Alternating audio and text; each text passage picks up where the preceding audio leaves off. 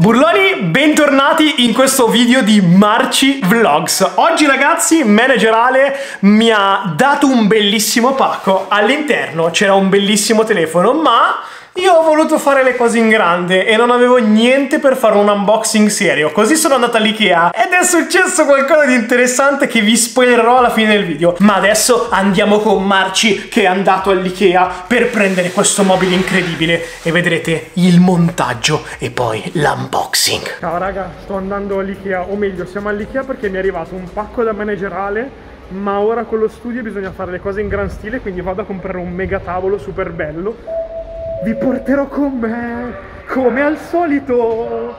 E lei ride, e vabbè. Allora raga, allora abbiamo trovato il tavolo, la pianta che devo trovare non l'ho trovata perché c'è scritto che non...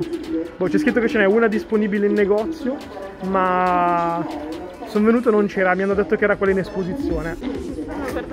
Come ci stanno guardando? Ci sono facendo dei segni, non ho capito. Allora andiamo via.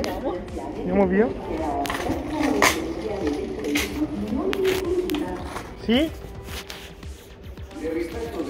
No, non stiamo facendo niente. Ah, raga, mi sa che ti stanno cacciando in qualche modo. Non so se avete sentito cosa ci hanno detto. Raga, penso che mi sentiate e basta. Non possiamo filmare. C'è un tizio che non so perché. Non so, devo abbassare la voce. Ah, è di là. Ok. No, non stiamo capendo la situazione eh, ci, sta, ci, ha seguito e ci ha fatto tipo dei segni. Aspetta, provo, provo, a filmarmi così. E come per dire, non so, cioè come se stessimo facendo qualcosa di sbagliato. Ora ce l'abbiamo dietro, stiamo facendo finta di niente. Cercando di capire cosa che vogliono da noi perché non abbiamo fatto niente alla fine. Stiamo solo cercando un, un mobile.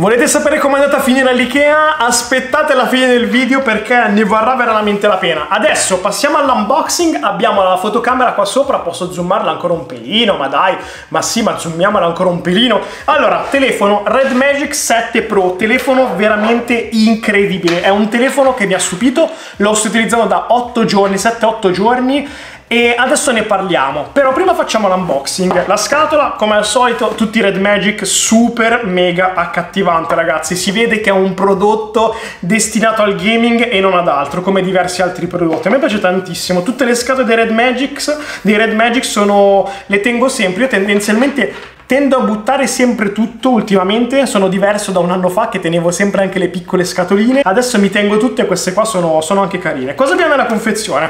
Solito, la solita coverina che secondo me è carina, eh, ci sta sempre secondo me averla in un telefono, non so perché i produttori non le mettano tutte, a me piace il fatto che ci sia una cover di gomma, sempre comodo, mm, lo appesantisce un pochettino ma ci sta. Ma andiamo al pezzo forte, qui abbiamo il telefono che ovviamente è già tutto settato ed eccolo qui ragazzi wow. Esteticamente lo trovo veramente molto carino ma pesa abbastanza. Non è un telefono leggero se vi aspettate un telefono leggero non, non ve lo aspettate. Se fate così, si vede, vedete che qua si vede, c'è la telecamera che è sotto al display e questa è una feature molto carina che però vi porterà ad un piccolo compromesso che parleremo fra poco. Il telefono secondo me esteticamente è molto bello, io ho la versione quella non trasparente, se dovete prenderla trasparente tutta la vita, ma lo sapevamo già. Poi all'interno della confezione che cosa abbiamo? Abbiamo un divisorio, io non so perché apprezzo sempre questi divisori stupidi, abbiamo un cavo che non ho utilizzato perché avevo quello del vecchio Red Magic e avevo lo stesso uh, caricabatterie. Ho l'adattatore per la presa italiana, super veloce ragazzi, ricarica rapida. Come ben sapete ormai i Red Magic ci hanno abituato a questo tipo di, di ricariche super veloci.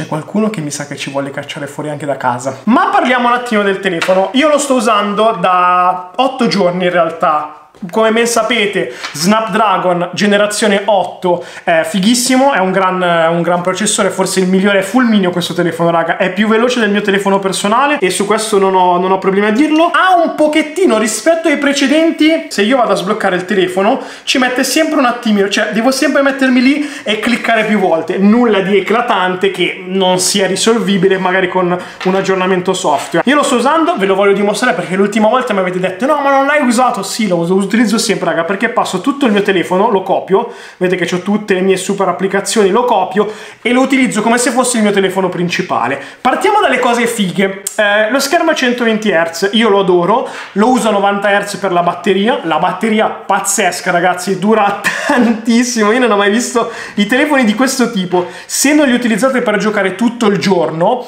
eh, che poi questa cosa è sbagliata, ma ci arriviamo dopo, dura tantissimo la batteria. È full mio, raga, apre tutto tutto velocissimo. Cioè, a chi è destinato questo telefono? È destinato a chi vuole giocare, e, e, chi accetta dei compromessi. Perché parlo di questa cosa? Perché banalmente la fotocamera.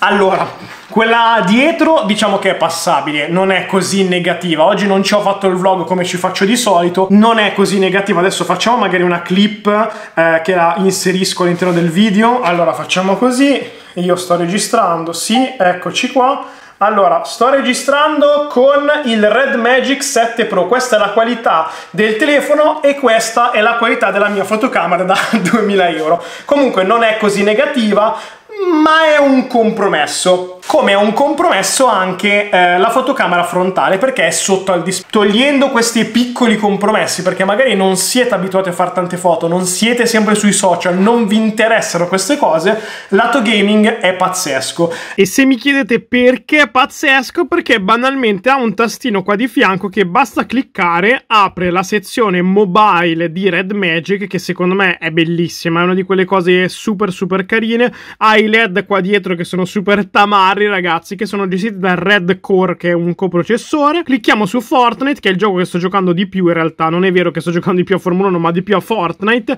Perché banalmente questo? Perché semplicemente io sto utilizzando anche il joystick. Ok, vedete che c'ho anche il joystick. Se io lo accendo, ok, me l'ha preso istantaneamente, ragazzi. Sta cosa a me piace particolarmente tanto. L'altra cosa che vi faccio vedere è che c'è un control center da questa parte, nel quale qui possiamo customizzare i grilletti qua sopra. Io banalmente li ho customizzati in questa maniera. Con questo qui miro e con quest'altro sparo, quindi la cosa è abbastanza, abbastanza carina. Inoltre, sempre dal control center potete decidere che cosa fare. Se mettere i 120 Hz abbiamo la ventola, abbiamo un, un botto di feature carine. In questo caso possiamo mettere anche il superlativo per mettere al massimo tutto. Poi volendo la ventola potete anche cliccare e si spegne. A chi consiglio questo telefono?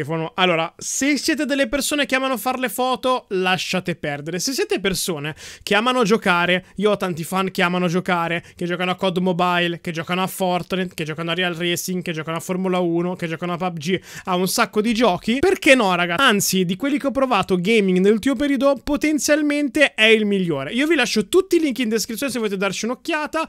Adesso vi lascio con la fine di quello che è successo all'IKEA perché è stato, è stato incredibile, veramente. E adesso siamo in un reparto che è dec decisamente sbagliato rispetto a quello che dobbiamo prendere noi. Una griglia, direi di sì. Sì. Da qui la situazione ha iniziato un pochettino a complicarsi per il semplice fatto che il tizio si era leggermente alterato, neanche troppo, ma mi aveva chiesto di cancellare tutte le clip e qualora stessi registrando in quel momento di cancellare la sua voce e di stoppare assolutamente la registrazione. Siccome non voglio problemi ho deciso di oscurare proprio la traccia audio nel quale mi diceva le cose, non ha detto niente di che, banalmente ci ha accompagnato all'uscita e mi ha minacciato di denunciarmi per non so quale strano motivo e niente, ma poi scoprirete che questa persona persona è un elemento particolare. Stavamo solo filmando perché ho un canale YouTube. No, no non c'è, se vuole che cancelliamo, però non stiamo facendo, non ho inquadrato persone niente. Ce ne andiamo, non c'è problema. Ce ne andiamo. Va bene, va bene, non, nessun problema. Allora, alla fine sono riuscito tranquillamente ad uscire, a pagare, ma volevo togliermi quel sassolino e sono andato al servizio clienti chiedendo di questa persona. E ho chiesto se qualcun altro già si era lamentato di questo tizio strano E qui arriva la parte bella, nessuno del servizio clienti conosceva questa persona o l'aveva mai visto. Di conseguenza adesso mi viene il dubbio che questa persona non fosse realmente dell'IKEA e gli dava fastidio che stessi facendo un vlog o gli dessero fastidio gli youtubers in generale. Ha visto me che gli ho detto che ero uno youtuber e gli ha dato fastidio. Non ne ho la più pallida idea. Sta di fatto che per qualche secondo, quando mi ha minacciato di denunciarmi, un pochettino di strizza mi è venuta. Solo che alla fine non avevo fatto niente di male. Avevo fatto una clip senza inquadrare niente. Sì, si sentiva la voce dell'IKEA e basta, ma non penso sia un problema. Tutto è andato per il meglio e niente, io spero che il video vi sia piaciuto, che vi abbia strappato un sorriso e che vi abbia messo un pochettino l'ansia come l'ho avuto io proprio oggi, che a raccontarvelo adesso mi viene quasi da ridere perché perché uscendo abbiamo scoperto che questa persona neanche la conoscevano quelli dell'IKEA. Ma chi era questo qui? Chi era? Non lo so. Quello che ha pensato la mia ragazza era che banalmente fosse un tizio. Avete presente quei vecchietti che vanno nei campi da calcio, nelle scuole di calcio, a dare una mano in magazzino, a portare i palloni in campo? Che fosse un tizio che a caso cercava di aiutare, però non lo so, non ho la più pallida idea. Comunque, noi ci vediamo in un prossimo video. Spero che video sia piaciuto. Da Marcio è tutto. Ciao a tutti.